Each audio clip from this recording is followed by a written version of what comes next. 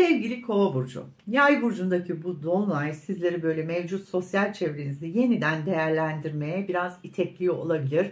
Kova burcunun etkisiyle daha geniş düşünen, farklı bakış açılarına sahip insanlarla tanışmanız ve tanışma arzunuz bir tık daha artabilir zaten.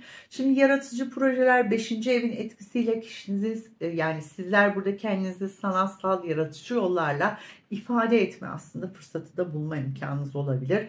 Yay burcunun özgürleştirici enerjisi sizi yazı ve müzik gibi alanlarda yeni hobiler edinmeye veya mevcut yeteneklerinizi genişletmeye de geliştirmeye de yönlendirebilir bu dolunay sürecinde veya uzun süredir bölge üzerinde çalıştığınız bir kitap projesi nihayette tamamlanabilir veya bir fotoğraf sergisi düzenleyebilirsiniz.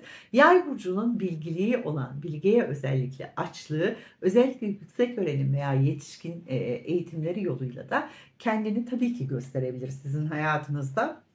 Çünkü kova burcu zaten çok meraklıdır. Her şeyi zaten çok öğrenmek ister. Yay burcunun etkisiyle de tabii eğitimler daha online platformlara taşınabilir veya uzaktan eğitim programları şeklinde de olabilir tabii ki. Veya bir yabancı dili öğrenmek için bir uygulama baş, kullanmaya başlayabilirsiniz. Veya çevrim içi bir kurs aracılığıyla kodlama becerilerini geliştirebilirsiniz. Bu tip aktiviteleri çok fazlasıyla sizde geliştirecek ve hayatınızın içerisine almanızı sağlayacak.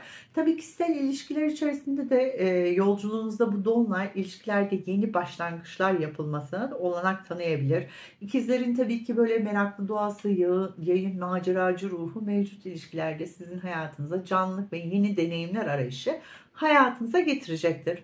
E, birlikte olma, yeni spor yapma veya çiftlerle beraber yeni hobiler e, geliştirme gerçekten çok fazlasıyla hayatınızın içerisinde olacak. Yay burcundaki dolunay kişisel inanç sistemlerinizi ve felsefe görüşleriniz üzerinde de derinlemesine size düşünmeye teşvik edecek. Bu dönemde sizler hayatın anlamı ve kendi kişisel amaçlarınız üzerinde de daha fazla düşünebilirsiniz. Bu süreçte belki meditasyon, yoga veya farkındalık gibi pratikleri, spiritüel aktiviteleri daha popüler olarak hayatınıza alabilirsiniz.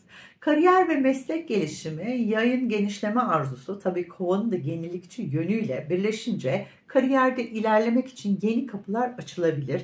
Örneğin bir pazarlama uzmanı olarak e, sürdürülebilir ürünler üzerine bir startup kurma fikrini değerlendirebilir. Veya bir bilim insanı küresel ısınma üzerine yeni bir araştırma projesine başlayabilirsiniz. Kovanın topluluk ve ağ kurma becerisini mesleki ilişkilerde yeni fırsatlar tabii ki hayatınızda e, yaratabilir veya profesyonel ağ platformları üzerinde yapılan bağlantılar iş teklifleri veya somut yeni işbirlikleri şeklinde de hayatınıza somut sonuçlar doğurabilir tabii ki. Bu dolunay dönemi hem kişisel hem de sosyal anlamda hayatınıza büyük değişimler ve fırsatlar sunacak ve sizlerin bu enerjileri nasıl yönlendireceği tamamen kişisel tercihlerinize bağlı tabii ki. Yaratıcılık, öğrenme, ilişkiler ve kariyer gibi çeşitli alanlarda sizler için yeni başlangıçlar var zaten ve mevcut durumları yeniden değerlendirme zamanı zaten Plüton'da biliyorsunuz retroya geçti. Burada mevcut durumları da yeniden değerlendirmeye bir bakacaksınız sevgili kovalar. Tekrar sizlerle başka bir videoda görüşmek dileğiyle.